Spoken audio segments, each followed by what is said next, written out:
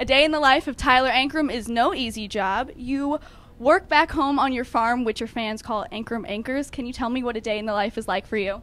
I mean, I mean, it's not that hard, but uh, I mean, it's definitely quite a bit of work. Yeah, we got we have a cattle farm out there in Mooresville, and uh, so yeah, it's it's pretty much daily work uh, for us out there. But I mean, I'm living the dream. Anything fun that you like to do while you're out there? Uh, man, honestly, I there's a lot we do. We get into quite a bit of trouble out there. Uh, you know, four wheelers, side by sides, um, name it, we do it.